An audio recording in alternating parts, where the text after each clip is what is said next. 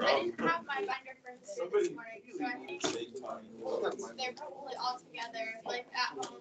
or Okay, this passes room. well, if you totally lose them, let me know, Okay. okay? I think I have an old one that I can give you. Okay. Okay, so yesterday, what's the last thing you got in your notes?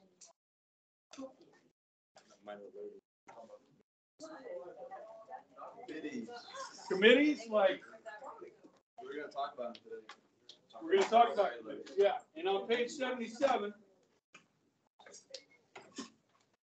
you can see those commit, those standing committees, okay?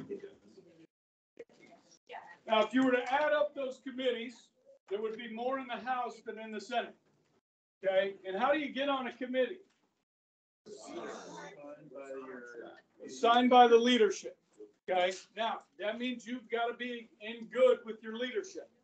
Now, today, guys, as we are speaking, Republican members of the House are meeting to discuss the rules of the House and talking about when they're going to have leadership elections. Okay? Uh, Kevin McCarthy of California is the likely Speaker of the House. Now, as far as the House goes, as far as those 435 seats from this last election, right now we are at 217 for the Republicans. How many do you need? Okay, so it's looking more and more like the Republicans will get to 218 or 219. Slight chance at 220. Okay, so McCarthy wants to be the speaker. He is being challenged by a representative named, named Andy Biggs. Andy Biggs is part of what's called the Freedom Caucus. Now, within these bodies of the House Democrats and House Senate, you have these different caucuses. Okay, so uh, you have the um, the African American Caucus, Freedom Caucus, the Hispanic Caucus, and so forth. Okay, uh, the Freedom Caucus is really conservative people in the House. Okay, and they have a large number. They want a bigger seat at the table. So Biggs is challenging McConnell for the Speaker of the House position. Mitch McConnell will be challenged for the Senate minority spot, most likely by a guy named Steve Scalise. McConnell's likely to win, okay, and so is McCarthy for the Speaker, all right? But they are having these arguments right now as we speak. They're meeting today, okay? Nancy Pelosi changed the rules of the House. She's able to do that as Speaker. There are certain things that they want repealed. If, you don't know this, guys, members of Congress, since COVID and still today, have been able to vote in abstention. What does that mean? They don't have to be there. For 200 plus years of Congress, in order to vote, you had to be present to vote. Nancy Pelosi changed that rule and she hasn't changed it back. Okay? There are other rules that she changed that uh, Republicans are going to reverse. All right? I heard one, one representative, Matt Gaetz of Florida, say this. He said, I remember when I was a freshman member of the House and I had to vote on a bill on taxes, but in the same bill was whether to fund the Saudis in the civil war in Yemen. And he's like, I shouldn't have to choose between those two things. Okay, we need to like separate this legislation and be able to vote on things that are important to us. Okay, and vote against things that are important to us. Not put them all together like that. Okay, so these are discussions that are being had. Now, the committee system is very important to how the, the system works, okay? The House has more of these standing committees, as you can see on page uh, 77. The House has 22. These are standing committees.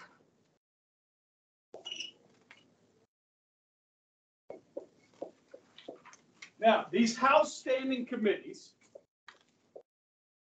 are gonna have a certain number of people on, it, okay?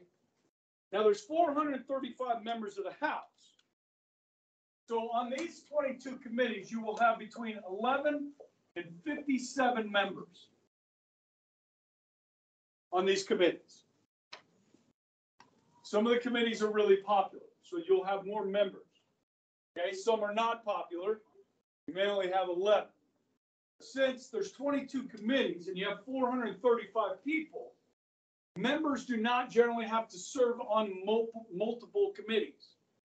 Ron Estes just serves on the House Ways and Means Committee. Okay, in the Senate, where there's only hundred senators, okay, they have fewer committees. Senate has sixteen standing committees. They will have membership between eleven and twenty-nine members. Again, some of these committees are more popular than others. If you look at the bottom of page seventy-seven, Jerry Moran, um, was on the Committee of Agriculture, Nutrition, Forestry, Energy, Natural Resources, Health and Education, Labor, Pensions, Small Business and Entrepreneurship. He's on four different committees as a senator, yeah. I'm not trying to say this like a dumb.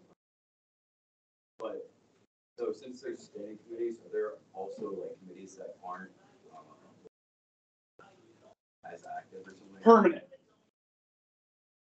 Yeah, so you have temporary committees that we'll talk about. Yeah. Uh, but these are like, these are standing, they're always there. Okay, so when these members get chosen for each committee, they'll stay on those committees. Unlike, or unless they get kicked off like Tim Camp, I gave that example yesterday. Okay? Uh, Roger Marshall's on several committees you can see here. Okay? I heard Roger Marshall on the radio this morning. I was listening to Fox Business News this morning. And, uh, heard Roger Marshall interviewed about Mitch McConnell and whether they should go ahead and have the, um, the election, uh, now before the Georgia, because remember, Georgia hasn't been decided yet. They're having a runoff there. Okay, we know the Democrats are gonna control the Senate, so they could go ahead and have the vote, but if Herschel Walker wins, shouldn't he have a say in the leadership and that sort of thing as well? Okay.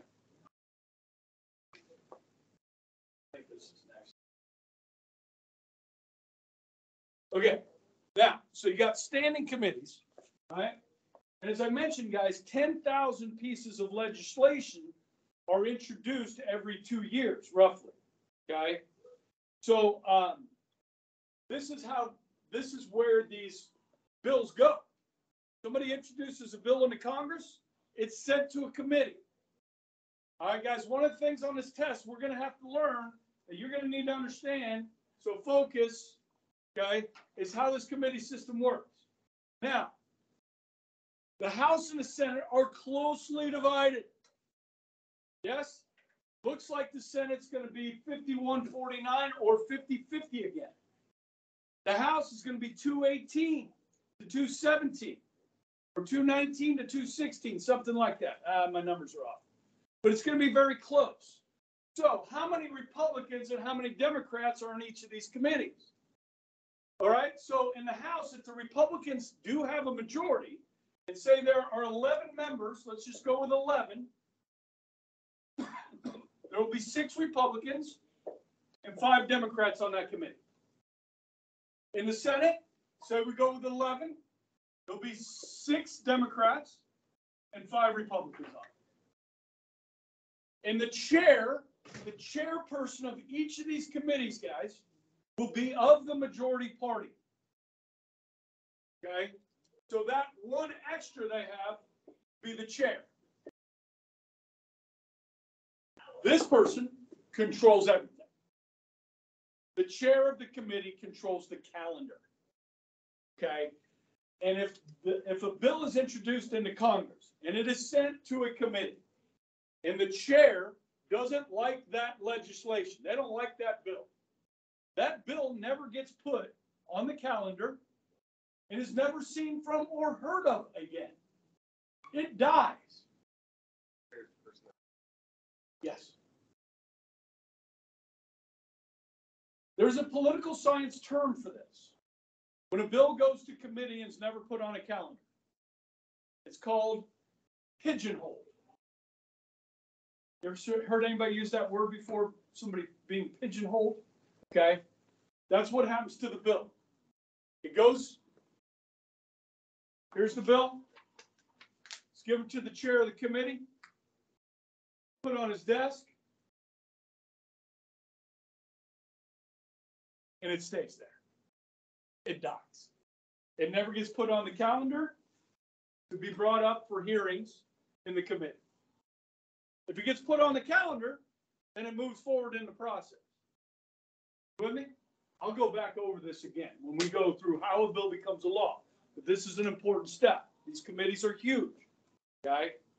They do all the work. They have hearings. Markup. So this is where the real work of the, of the Congress is done, is in committee. Okay? Let me give you an example that's personal to me, okay? So guys, when COVID hit, we shut down the school, right? You guys all went home. You were sophomores? You guys were freshmen. Okay. So we wanted to come back to school for your sophomore year, right? You guys remember the hybrid schedule? Okay, now, Mrs. Eaton, our superintendent, called Vanessa and said, Vanessa, we need to put together a committee so that we can figure out how to best get our kids back to school in a safe environment. So obviously, we wanted to have smaller class sizes. So we could spread people out, right? And so I was chosen to be on that committee with other teachers, other administrators. And we worked this all out and we figured out, okay, well, we could have the kids come four days a week for half a day. We could just have them come two full days a week. And the other half comes two full days. And we'll use Wednesday as plan days for teachers. Ooh, that was sweet. Dude, we had Wednesdays off. Remember that? God, For teachers, man, it was glorious. I mean, we had to show up for school. We had, we were here all day. Yeah, but I mean, we went to lunch. Yeah, but we worked. I mean, like seriously, like we worked. Uh, and we worked together, like we collaborated, which we don't have any time to do. Now, like, we have late start tomorrow. Okay, that was all put, CSI was put together so that departments could get together and work together. Like, I could get with my social studies department and we could work together. And we may even join up with the, the English department to work on some things. We get like two of those a year. That's our collaboration. It's a joke. Sorry. We're gonna be doing visible, visible learning tomorrow. You know, visible learning. Yeah. I'll let you know how that goes on Thursday. Okay? All right? Life in the educational. But these committees are important. So we studied, we talked about it, we debated things and so forth.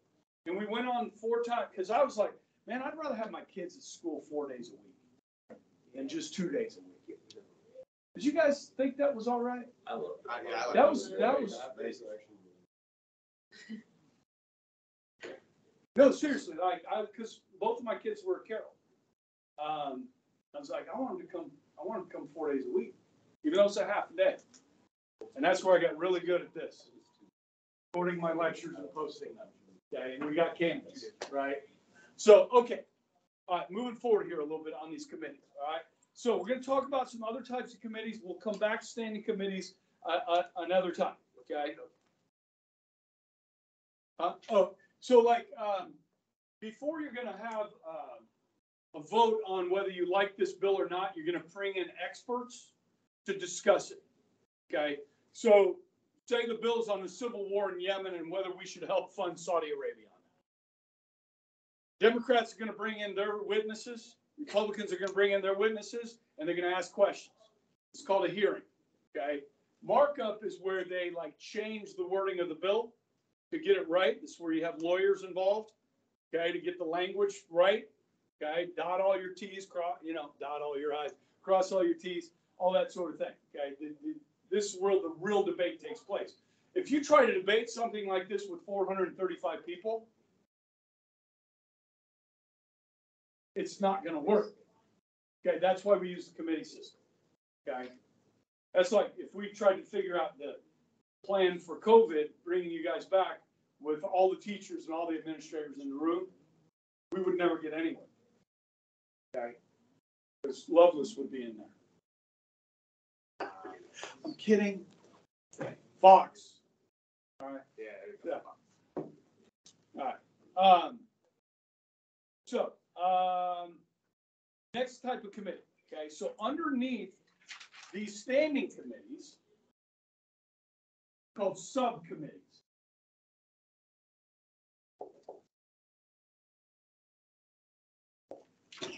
There's about hundred and seventy-five of these. Yeah, okay, so if you're a member of the Senate, you're gonna have to serve on several subcommittees. Okay, in the House, you may have to serve on a couple subcommittees. Guys, this is the nitty gritty. Okay, so let's talk about the Agriculture Committee. Okay, which, you know, we're kind of familiar with agriculture in this state. There are four subcommittees of the Agriculture Committee. One that deals with imports and exports, trade of agriculture. One that deals with things like uh, free and reduced lunches through the Department of Agriculture for school lunches and breakfast for kids. You've got a subcommittee that deals with uh, things like insecticides and pesticides that we use in our farming, right? So you have all these different subcommittees that break out of these standing committees. Okay, now guys, if you go to K-State, get a degree in horticulture, okay, and you need a job, guys, you can get a job working for the subcommittee on agriculture and be an expert and advise members of Congress about what is good legislation what is bad legislation. So these committees actually hire experts, staff, to work for them, to help them. Because guys, some of these members of Congress have never freaking lifted a pitchfork before and don't know the first thing about farming. You know what I mean? What does Dr. Roger Marshall know about farming? He lives in the first district. But does he farm? No, he's a doctor. You need some people in there that know what they're talking about, right? So now, if you serve on the subcommittee in agriculture for 20 years, these members start to become experts. You know what I mean? That's their job. Okay. So this system actually works pretty good. Okay. We don't always get the intended results that we want. I mean, we're not perfect. We know that. Okay. So all standing committees have subcommittees, and members are expected to serve on several of those. Okay. Then, kind of your point, we also have what are called select committees. Okay. Select committees are temporary, set up for a specific purpose. Temporary that are set up for a specific purpose. Let me give you some examples. You guys have all heard of Watergate. Richard Nixon, okay? They set up a special select committee on Watergate to study what happened. 9/11, we got attacked. How did that happen? How did we not see that coming? How did we not stop those hijackers from getting into the country and learning how to fly planes in our country before they carried out the attack?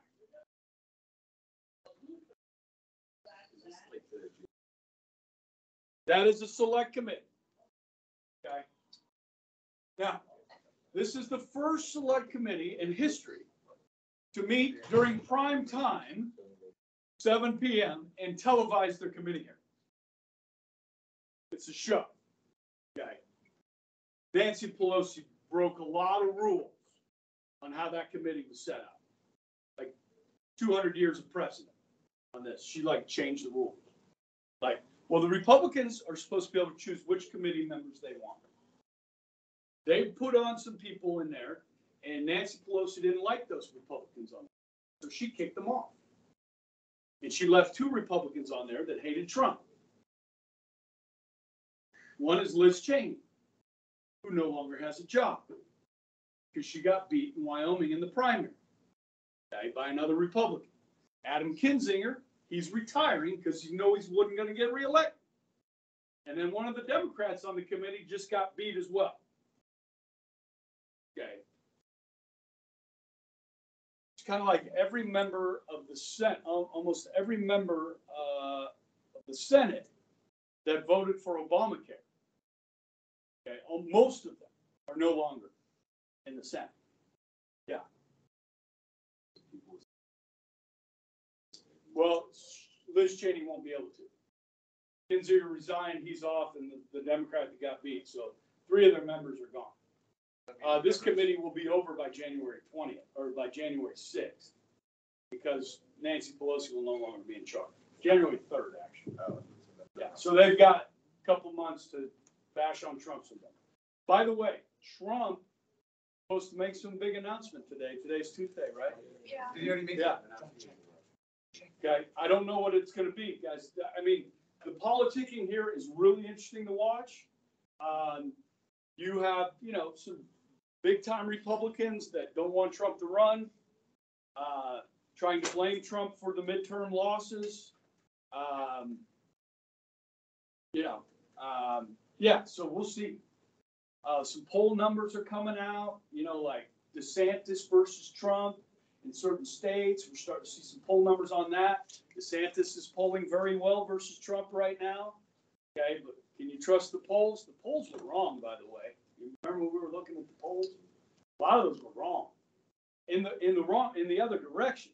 Usually they're wrong favoring Democrats. This time they were wrong favoring Republicans. So Republicans thought they had a better chance than they actually did. No, usually it's the other way around, right? Like when Trump won in 2016, the polls were way off.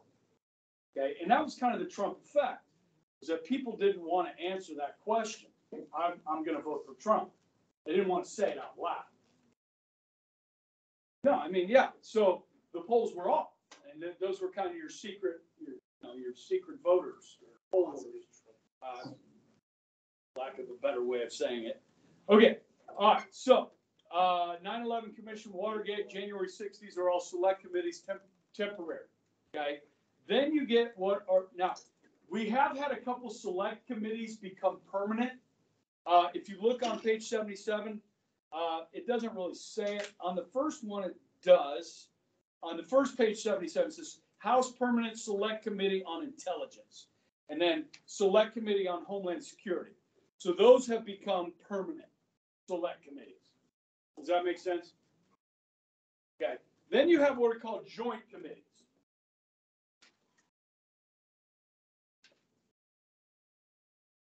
Now, guys, these are non-political or apolitical or clerical in nature. They're not political. Um, they tend to deal with things like there's a, a joint committee on printing. There's a joint committee on the Library of Congress. This just allows both houses to work together to do clerical things. Okay, they're not real political. Okay. And then I got one more type of committee to talk about. Okay.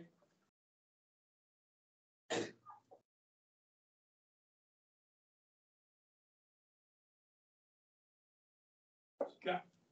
Conference committee. Okay, these are temporary as well, but are an important pro- part of the process of how a bill becomes a law. So guys, when we go over those thirteen steps of how a bill becomes a law, this will be one of the key steps. All right? So let me start with this. We get, we get a new house with the Republicans, right? So you got the House of Representatives. And let's say, uh, Kevin McCarthy, the Speaker of the House, wants to see a targeted tax cut for corporations. Or actually, just make permanent. Guys, when Trump was president, we cut the corporate income tax in the United States, but there's a sunset on that, so it'll revert back. So it went from twenty-eight percent corporate tax to twenty percent under Trump. Okay? The idea was here that corporations would stay in the United States because they'd be more profitable if they had to pay less in taxes rather than shipping their jobs overseas. Following the logic there, okay? So he wants, uh, McCarthy wants to make this permanent. Twenty percent tax for corporations. You with me? Now, Republicans win this vote with two hundred and eighteen votes, okay? This is part of the process, right? Then you send it over to the Senate, because remember, guys, anytime they're gonna tax you or spend your money, where does that legislation have to start? In the House, okay? Now, goes over to the Senate. Chuck Schumer, oops, Chuck Schumer is still in charge. He is the Senate Majority Leader. Does he want to make this permanent? No. But maybe he wants to work with the new Republican House. Let's just not. Probably not gonna happen, but let's say, guys. So he says, okay, how about this? We will go to twenty-six percent. Now, we won't go all the way back to twenty-eight percent, we'll go to 26%. Okay? That'll help our businesses a little Okay? And this passes. And, and it gets fifty-one to fifty. Kamala Harris breaks the tie. Okay? Now what? We got one that passed the House at twenty percent tax for corporations, one with twenty-six percent tax for corporations. What do you send the president? You can't send him either one. So you got two versions. This is version one.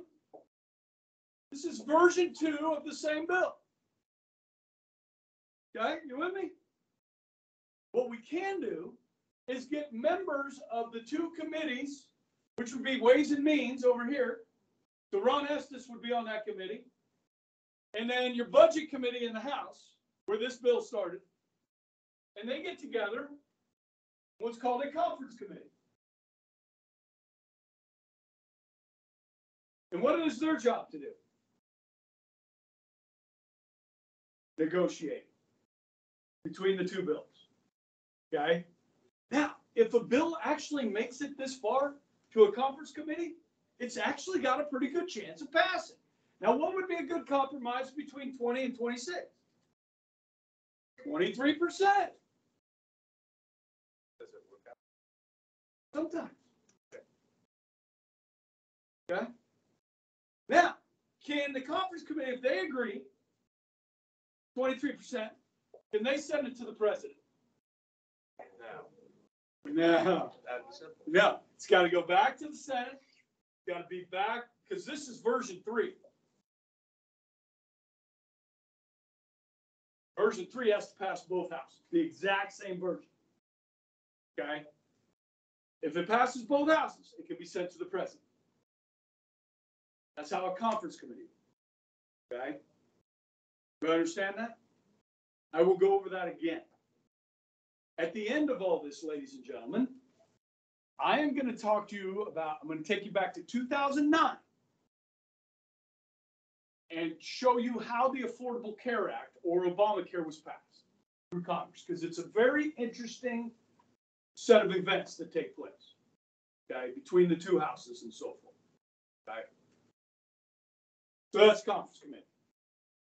Good? Yeah, Mr. Ebright, that was good. That was good. I, I think I get it. Feel pretty good about these committees? I guess this is foreign to you. I understand, like, this is stuff you've not ever learned. Okay, so I'm trying to explain it, but please ask questions if you have any, okay? Um, and I will go back over a lot of this will come back through, okay? All right, so the next stuff we're gonna talk about, what time we get out? Thirty-five? Let's just start this. This is easy stuff, okay? New header in your notes. We're gonna talk about the House of Representatives. Break it down, and then we're gonna do the Senate later, okay? So just, your header is House of Representatives.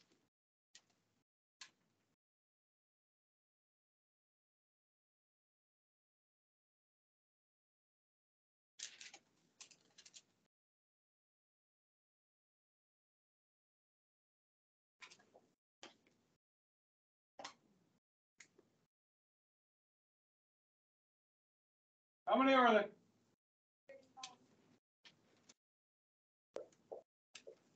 Okay. How long are their terms?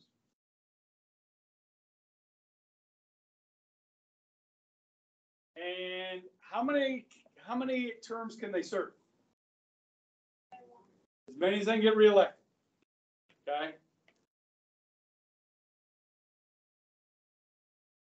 So all four hundred and thirty-five are up every two years, which is what we just witnessed, right? Yes? Yeah.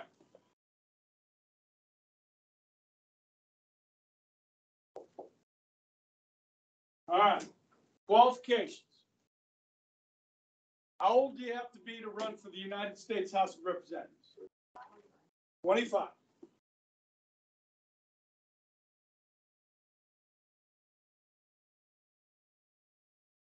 Must you be a citizen of the United States? Must you be a natural born citizen of the United States? How long do you have to have been a citizen of the United States?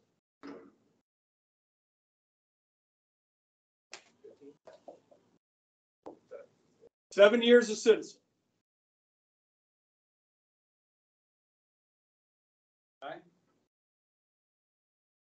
So Maria Flores, uh, Texas, in a special election about a year ago, was the first Mexican board member of the House. Her district got redrawn. She lost. Yeah. Which I kind of liked her, so I was, that was kind of disappointing that she lost, but she put up a good fight. Okay. Um, one more qualification. You must live where? Must live in the boundaries of your district. You Must have a residence.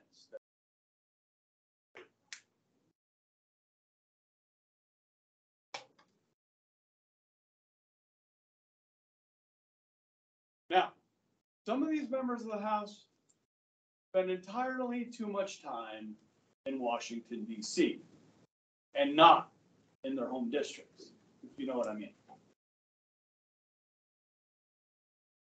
Some are better than others. About, you know, coming home, spending time with their constituents, getting the pulse of what's going on in their district. Okay? All right.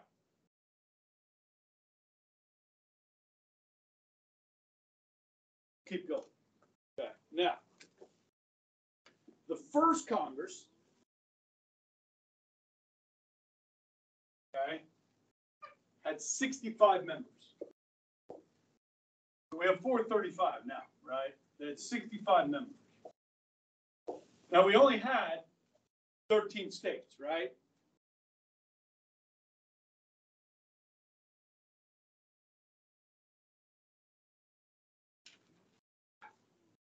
Each one represented roughly sixty thousand people.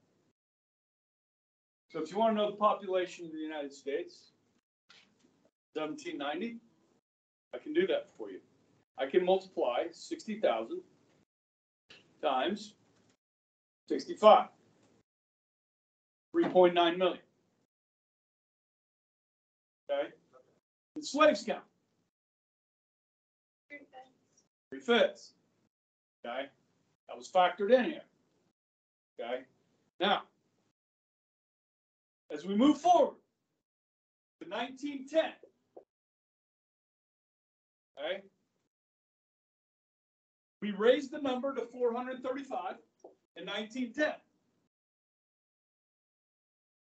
And each member represented roughly two hundred and five thousand people. Want to know how many Americans there were in nineteen ten? Let me tell you. I'm gonna multiply two hundred, that should be two hundred and nine thousand, excuse me, times four hundred and thirty-five. Getting roughly ninety-one million Americans in nineteen ten. Okay? So you take your four hundred thirty-five seats, spread them out by population across the fifty states, right? So, 20, 20. How many Americans are? there? Three hundred thirty million? So, I'm divide three hundred and thirty million. Three, three, oh, oh, oh, oh, oh, oh, oh. Divided by four hundred and thirty-five, and I get seven hundred and fifty-eight thousand.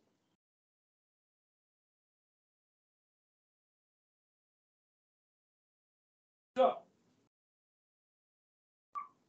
When we draw.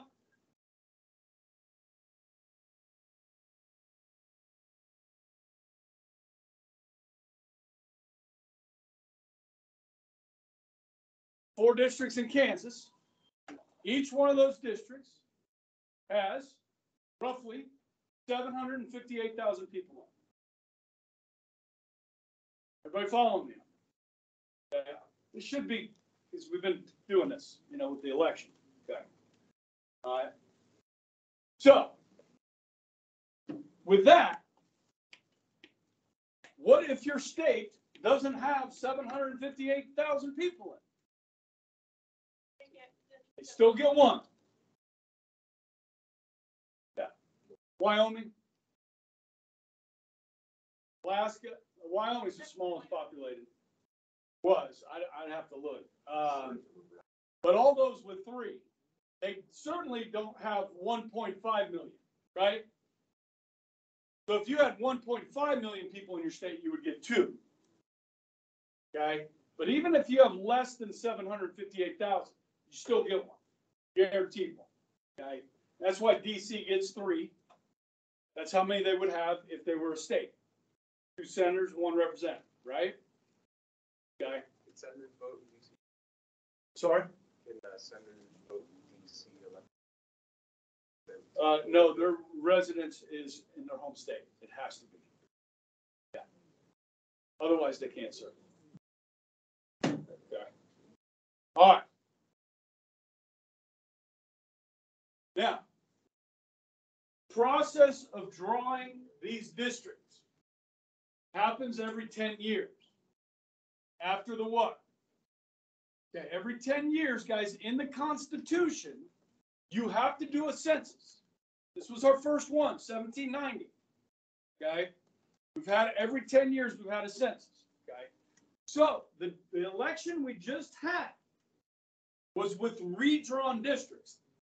This map is different than we, the map we had two years ago. Everybody understands that?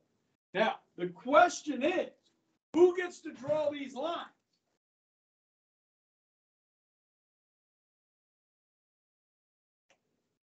the state legislatures in most states draw these lines.